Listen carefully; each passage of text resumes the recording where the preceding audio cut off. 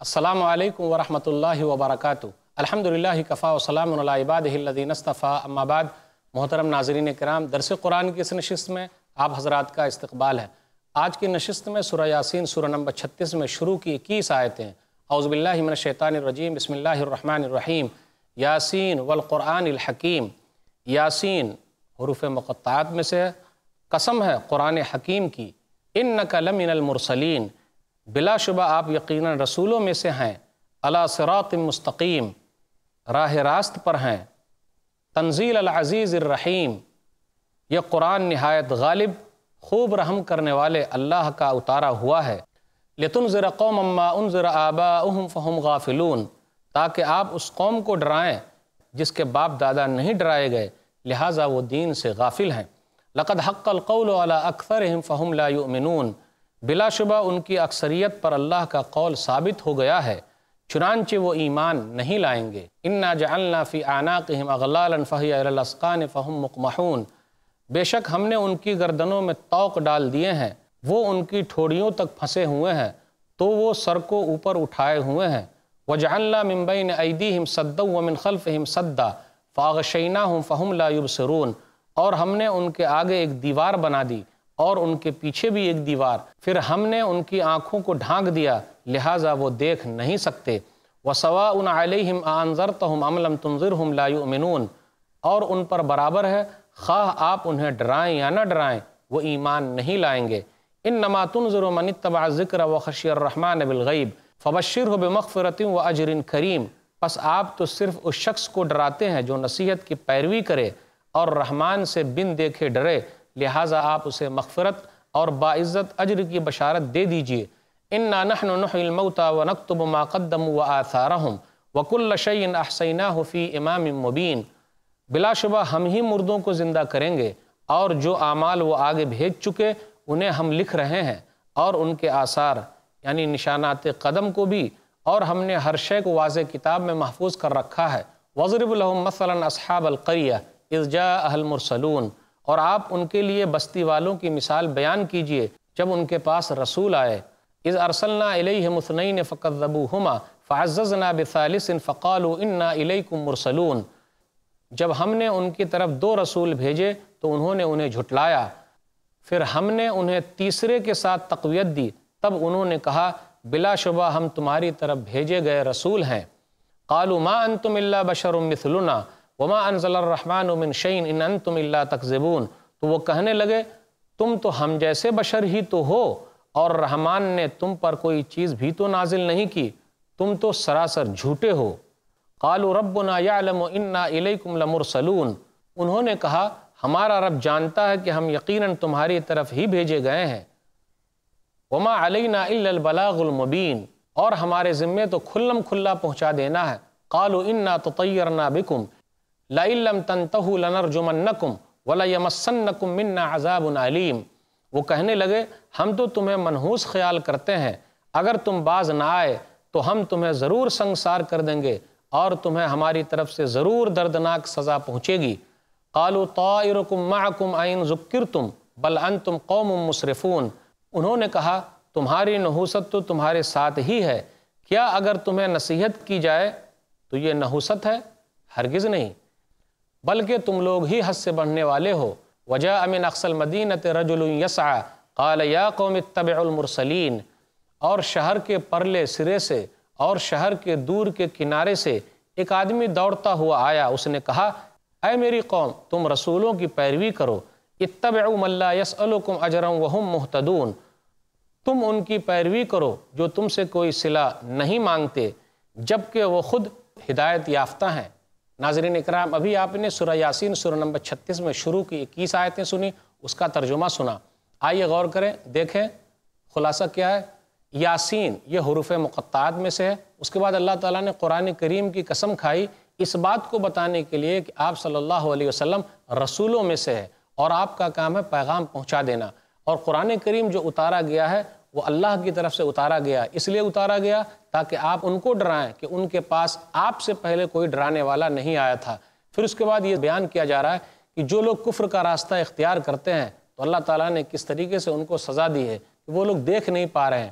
اور جن لوگوں پر حجت قائم کر دی گئی تو آپ چاہے ڈرائیے یا نہ ڈرائیے، وہ لوگ ایمان لانے والے نہیں ہیں۔ اس کے بعد یہ بیان کیا جا رہا ہے کہ جو لوگ نیک اعمال کر رہے ہیں تو اللہ تعالیٰ ان کے اعمال کو لکھ رہا ہے۔ پھر اسی طرح جو ان کے طور طریقے پر چل رہے ہیں سیدھے راستے پر چل رہے ہیں اللہ ان کو بھی لکھ رہا ہے اور اللہ محفوظ میں یہ تمام چیزیں موجود ہیں۔ اس کے بعد تین رسولوں کا تذکرہ آیا، وہ کسی گاؤں میں بھیجے گئے تھے۔ تو لوگوں نے کیا کیا؟ قوم نے ان کی بات نہیں مانی۔ پھر اس کے بعد شہر کے کنارے سے ایک آدمی دوڑتا ہوا آیا۔ کہا جاتا ہے، اس آدمی کا نام حبیب نجار تھا اور اس نے اپنی قوم سے یہ کہا کہ تم لوگ رسولوں کی بات مان لو۔ پھر اس کے بعد اور بھی وہ نصیحتیں کرتا ہے، جس کا تذکرہ انشاءاللہ اگلی نشست میں ہوگا۔ ابھی جتنی آیتیں پڑھی گئی ہے ہم اور آپ ذرا ان کو تفصیل کے ساتھ لے لیں۔ اب آئیے ذرا غور کریں۔ سب سے پہلے تو یہ ہے کہ یہ سورہ یاسین مکی سورہ ہے، تراسی آیتیں ہیں۔ سورہ یاسین کے بارے میں ہمارے درمیان بہت ساری چیزیں مشہور ہے اس لیے آپ دیکھیے گا کہ جو آدمی نہ بھی جانتا ہو، لیکن سورہ یاسین کا نام ضرور جانے گا۔ دوسری صورتوں کے نام یاد ہو کہ نہ یاد ہو۔ لیکن سورہ یاسین کا نام اسے ضرور یاد ہے اور سورہ یاسین کے بارے میں اپنے درمیان یہ مشہور ہے کہ سورہ یاسین قرآن کا دل ہے۔ سورہ یاسین کے بارے میں یہ بھی مشہور ہے کہ مردے آدمی پر اگر پڑھیں گے تو روح جلدی نکل جائے گی۔ لیکن جب میں نے تحقیق کی، دیکھا تو سورہ یاسین کے بارے میں مجھے کوئی بھی صحیح حدیث نہیں ملی۔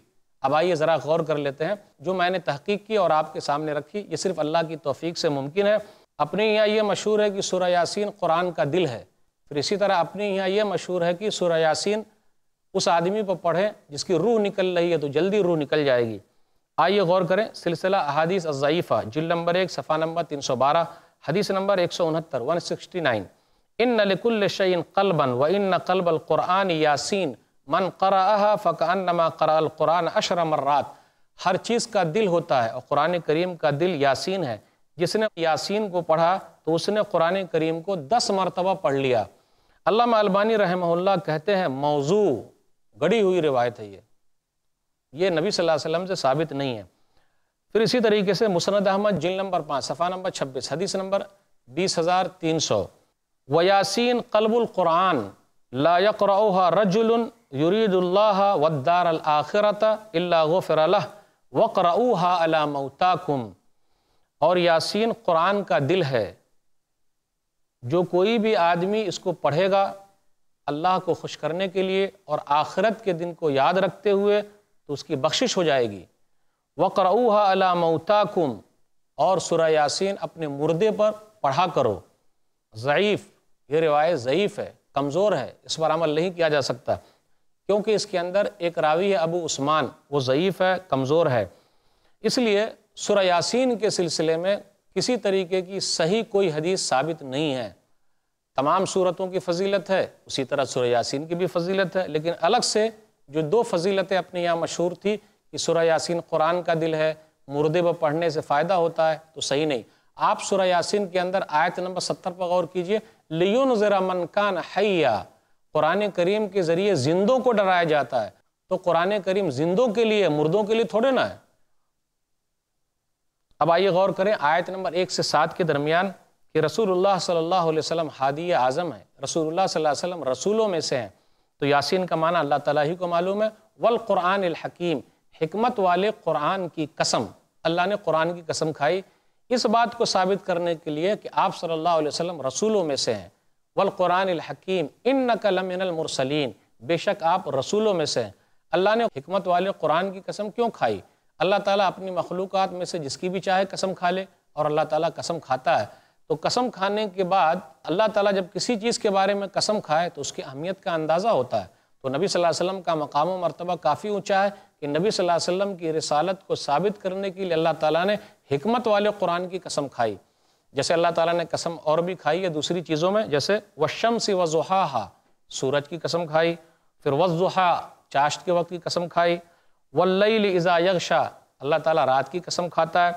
ایک جگہ پہ اللہ تعالیٰ نے اپنی قسم کھاتے ہوئے کہا، سورہ نساء، سورہ نمبر چار، آیت نمبر پینسٹھ۔ فلا وربک لا یؤمنون حتی یحکموک فیما شجر بینہم۔ ثم لا يجدوا في انفسهم حرجا مما قضيت ويسلموا تسلیما۔ آپ کے رب کی قسم وہ لوگ مومن ہو ہی نہیں سکتے۔ جب تک کہ اپنے جھگڑوں میں آپ کو فیصلہ کرنے والا نہ مان لیں اور وہ لوگ اپنے دلوں میں جو آپ نے فیصلہ کیا ہے کوئی تنگی محسوس نہ کریں اور وہ لوگ آرام کے ساتھ اس کو قبول کر لیں، آسانی کے ساتھ قبول کر لیں۔ تو نبی صلی اللہ علیہ وسلم کی رسالت کو ثابت کرنے کے لیے اللہ تعالیٰ نے قرآن کریم کی قسم کھائی۔ اس لیے کہا ان نقل امر المرسلین بے شک آپ رسولوں میں سے ایسا کیوں کہا؟ اس لیے کہ کفار مکہ کہا کرتے تھے کہ آپ رسول نہیں ہیں۔ جیسا کہ سورہ راز، سورہ نمبر تیرہ، آیت نمبر تینتالیس، آخری آیت ہے۔ وَيَقُولُ الَّذِينَ كَفَرُوا لَسْتَ مُرْسَلًا۔ قُلْ كَفَى بِاللَّهِ شَهِيدًا بَيْنِي وَبَيْنَكُمْ وَمَنْ عِنْدَهُ عِلْمُ الْكِتَابِ اور کافروں نے یہ کہا کہ آپ رسول نہیں ہیں۔ آپ کہہ دیجیے اللہ تعالیٰ میرے اور تمہارے درمیان گواہی دینے کے اعتبار سے کافی ہے اور جن کے پاس کتاب کا علم ہے، وہ لوگ بھی گواہی دے رہے ہیں کہ نبی صلی اللہ علیہ وسلم رسولوں میں سے اور آپ سیدھے راستے پر ہیں۔ آپ خود سیدھے راستے پر ہیں اور سیدھے راستے کی طرف رہنمائی کرتے ہیں۔ سیدھا راستہ لوگوں کو بتاتے ہیں۔ جیسا سورہ شورہ سورہ نمبر بیالیس، آیت نمبر باون اور ترپن میں ہے وَإِنَّكَ لَتَهْدِي إِلَى صِرَاطٍ مُسْتَقِيمٍ. صِرَاطِ اللَّهِ الَّذِي لَهُ مَا فِي السَّمَاوَاتِ وَمَا فِي الْأَرْضِ. أَلَا إِلَى اللَّهِ تَصِيرُ الْأُمُورِ. اور بے شک اے محمد صلی اللہ علیہ وسلم، آپ سیدھے راستے کی طرف رہنمائی کرتے ہیں. اس اللہ کے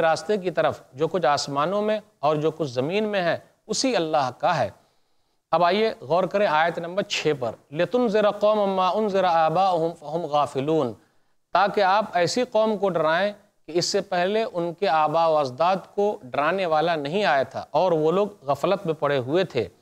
یہاں جو بتایا گیا کہ آپ مکہ والوں کو ڈرائیں، اس کا مطلب یہ نہیں ہے کہ نبی صلی اللہ علیہ وسلم تمام لوگوں کے نبی نہیں ہے ایسا مطلب نہیں۔ یہاں یہ مقصود ہے کہ اسماعیل علیہ السلام کے بعد کوئی ڈرانے والا نہیں آیا تھا۔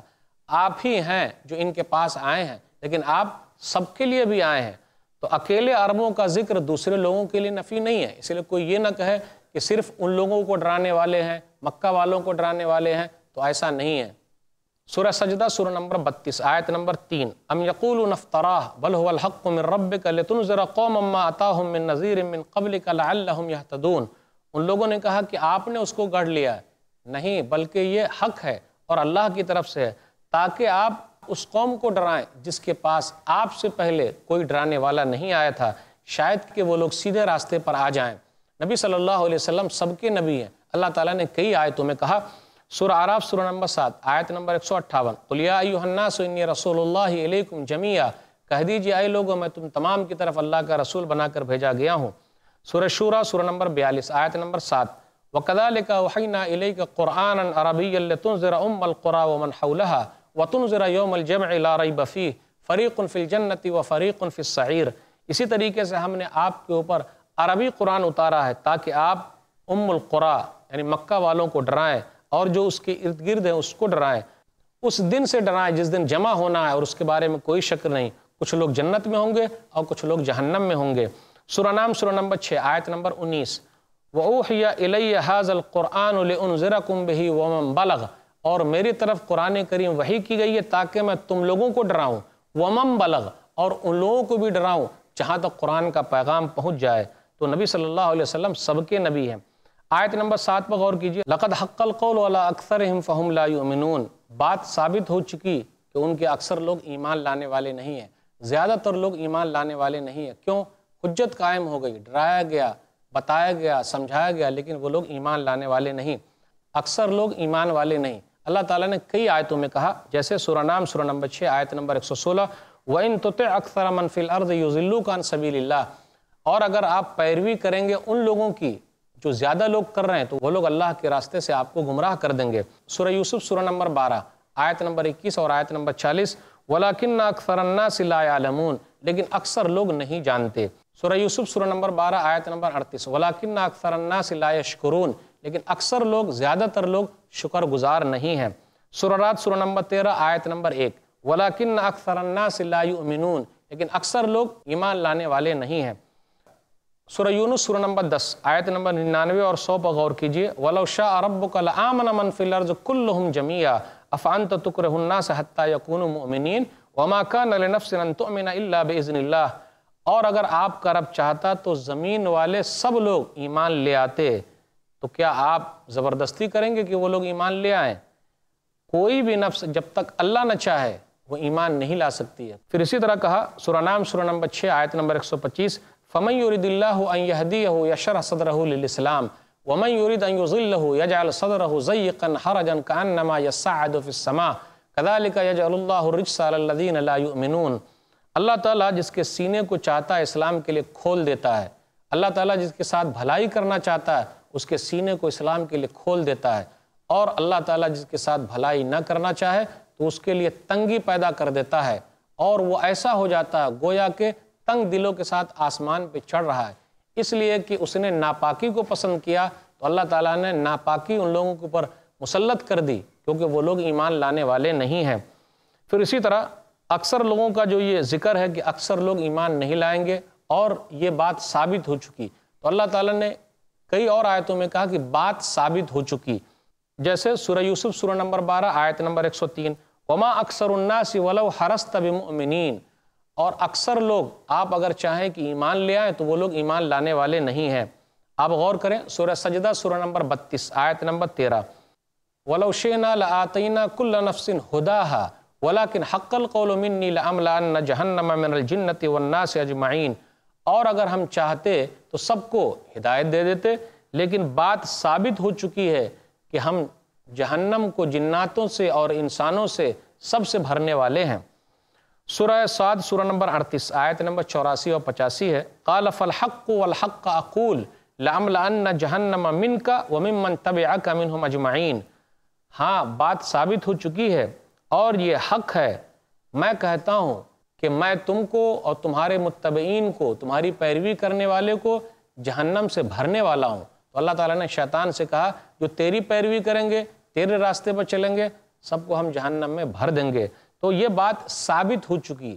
یہ بات ہے، اللہ نے لکھ دیا ہے، کیونکہ ان لوگوں پر حجت قائم ہو گئی۔ ان کو سمجھایا گیا، ڈرایا گیا، دھمکایا گیا، ایک اللہ کی طرف بلایا گیا۔ تو جب حجت قائم ہو گئی، تو اللہ تعالیٰ نے کہا، اب ان لوگوں کا انجام ایسا ہی ہونے والا ہے۔ تو بدبختوں کا برا انجام ہوگا۔ اب آئیے ذرا غور کریں، آیت نمبر آٹھ سے بارہ کے درمیان، جن کے مقدر میں کالے کرتوت کی وجہ سے لکھ دیا گیا، تو ان کا انجام کیا ہے؟ انا جعلنا فی آناقہم اغلالا۔ بے شک ہم ان کی گردنوں میں توق ڈال دیں گے، وہ ان کی ٹھوڑیوں تک پھنسے ہوئے ہوں گے اور وہ اپنی سروں کو اٹھائے ہوئے ہوں گے، کہیں دیکھ نہیں پائیں گے۔ تو ان کا نقصان ہے۔ تو اللہ تعالیٰ اس طریقے سے ان لوگوں کو سزا دے گا۔ آگے کہا، وَجَعَلْنَا مِن بَيْنِ أَيْدِيهِمْ صَدًّا وَمِن خَلْفِهِمْ صَدًّا اور ہم نے ان کے آگے ایک آڑ بنا دی ہے اور ایک آڑ ان کے پیچھے بھی۔ ان کے پیچھے بھی سے مراد کیا ہے؟ یعنی دنیا کی زندگی اللہ تعالیٰ نے ان کے لیے مزین کر دی۔ دنیا میں مال ہے، اولاد ہے، ہر طرح کی نعمتیں ہیں، تو لوگ ایک اللہ کو مانیں گے؟ اسی میں مست ہیں اور دنیا ہی کو سب کچھ سمجھ رہے ہیں، جبکہ دنیا ختم ہو جائے گی۔ پانی کا ایک بلبلا ہے، ایک دھوپ اور چھاؤ کی طرح ہے، ختم۔ ہم اور آپ مسافر کی طرح دنیا سے چلے جائیں گے۔ اللہ نے کئی آیتوں میں کہا، جیسے سورہ اعلیٰ سورہ نمبر ستاسی، آیت نمبر سولہ اور سترہ بلتو سرون الحیات الدنیا والآخرت خیر و ابقا۔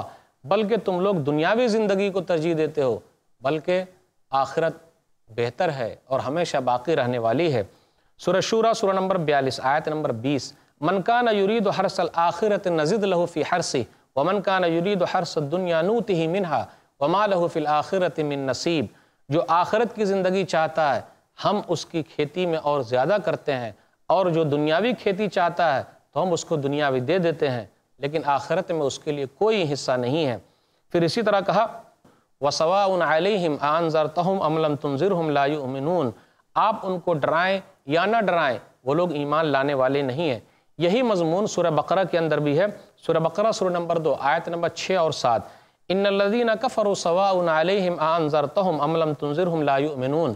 ختم الله على قلوبهم وعلى سمعهم وعلى ابصارهم غشاوه ولهم عذاب عظيم۔ جن لوگوں نے کفر کیا، برابر ہے ان لوگوں کے لیے کہ آپ ڈرائیں یا نہ ڈرائیں، وہ لوگ ایمان لانے والے نہیں۔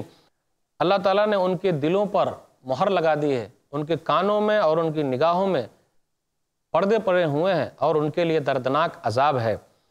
اب آگے ہے کہ نصیحت کی پیروی کون کرتے ہیں؟ کون لوگ بات کو ماننے والے ہیں؟ انما تنظر و من اتبع ذکر بے شک آپ ان کو ڈرائیں جو لوگ نصیحت کی پیروی کرتے ہیں۔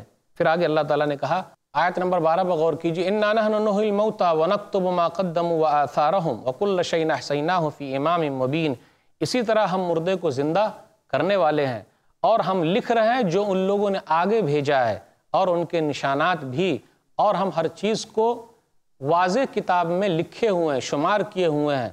اب آئیے غور کیجیے جو ان لوگوں نے بھیجا واضح کتاب سے مراد کیا ہے، امام مبین سے مراد کیا ہے، تو واضح کتاب سے مراد واضح امام سے مراد صحیفہ اعمال ہے، پھر اسی طرح لوح محفوظ ہے۔ تو جو ان لوگوں نے بھیجا، پھر اس کے بعد جتنے لوگ جو ہیں، ان کے حساب سے چلیں گے اور ان کی باتوں پر عمل کریں گے تو ان کا ثواب ملے گا۔ وَنَقْتَبُ مَا قَدَّمُوا وَآثَارَهُمْ۔ تو آثار سے مراد اعمال بھی ہے، پھر اسی طرح نشانات قدم بھی ہے۔ حدیث کے اندر آیا، صحیح مسلم کتاب الزکا کتاب نمبر بارہ، حدیث نمبر ایک ہزار سترہ۔ من صنف الاسلام سنتا حسنتا فلہ اجرها و اجر من عامل بها۔ بعده من غیر این قصا من اجورهم شیئن ومن صنف الاسلام سنتا سیئتا کان علیہ وزرها و وزر من عامل بها من بعده من غیر این قصا من اوزارهم شیئن جس شخص نے اسلام کے اندر کوئی مردہ چیز تھی، اس کو زندہ کر دیا یعنی اچھا طریقہ ایجاد کیا، تو اس کو ثواب ملے گا اور اس کا بھی ثواب ملے گا جو اس کے طریقے پر چلیں گے. لیکن ان لوگوں کے ثواب میں کوئی کمی نہیں ہوگی. اسی طرح جس نے غلط طریقہ ایجاد کیا تو اس کو نقصان ہوگا اور اس کا بھی نقصان ہوگا جو لوگ اس کے طریقے پر چلیں گے اور اس کے نقصان میں سے کسی طرح کوئی کمی نہیں ہوگی۔ تو آدمی نیک کام کرتا ہے، لوگ اس کے طریقے پر چلتے ہیں تو اس کا بڑا فائدہ ہے۔ صحیح مسلم کتاب الوسیہ کتاب نمبر پچیس، حدیث نمبر ایک ہزار چھ سو اکتیس۔ ابو حرر رضی اللہ تعالیٰ نے بیان فرمایا، اذا ماتر الانسان انقطع عنہ عمل اللہ من سلاست اللہ من صدقت جاریہ او علم ينتفع به او ولد صالح یدو له۔ آدمی مر جاتا ہے، ان کا عمال منقطع ہو جاتا ہے۔ تین چیز کا ثواب مل رہا ہے۔ ایک تو وہ جو اس نے صدقہ جاریہ کیا، نمبر دو، یا علم جس کے ذریعے لوگ فائدہ اٹھا رہے ہیں، یا پھر نیک اولاد جو اس کے لیے دعا کر رہی ہے۔ پھر اسی طرح نشانات قدم بھی مراد ہے۔ کیا مراد ہے؟ کہ اس کا مطلب یہ بھی ہو سکتا ہے کہ ہم ان کے آثار کو لکھ رہے ہیں۔ مطلب جو ان کے قدم نیکی کی طرف جا رہے ہیں، ہم اس کو لکھ رہے ہیں۔ صحیح مسلم کتاب المساجد، کتاب نمبر پانچ، حدیث نمبر چھ سو پینسٹھ۔ نبی صلی اللہ علیہ وسلم نے ان لوگوں کے بارے میں کہا کہ بنو سلمہ کے لوگ مسجد نبوی کے قریب آنا چاہتے تھے کیونکہ جگہ خالی ہو گئی تھی تو نبی صلی اللہ علیہ وسلم نے فرمایا، دیارکم تکتب آثارکم، تم جہاں ہو وہیں رہو، دیکھو، تم لوگوں کے نشانات لکھے جا رہے ہیں یعنی دور سے مسجد کی طرف آؤ گے تو ثواب ملے گا۔ اب اس کے بعد آیت نمبر تیرہ سے سترہ کے درمیان غور کیجیے، گاؤں کے اندر تین رسول آئے۔ اب یہ گاؤں سے مراد کیا کچھ لوگوں نے کہا انتاقیہ ہے، کچھ لوگوں نے کہا کوئی دوسرا اور شہر ہے۔ معلوم اس سے مراد کیا ہے۔ تو دو رسول پہلے آئے، ایک اللہ کی طرف بلایا تو لوگ نہیں مانے۔ لوگوں نے کیا کہا؟ قالوا ما انتم اللہ بشروں میں تم تو ہم جیسے انسان ہو۔